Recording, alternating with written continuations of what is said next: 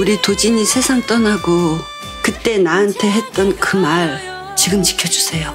절대 포기하지 마라. 기회란 아무에게나 주어지는 게 아니란다. 이게 말이나 되는 일이라고 생각해요? 대체 아버님은 무슨 생각으로? 오늘이 마지막 근무였다고요? 이영희 씨, 잘 살아요. 나도 몰래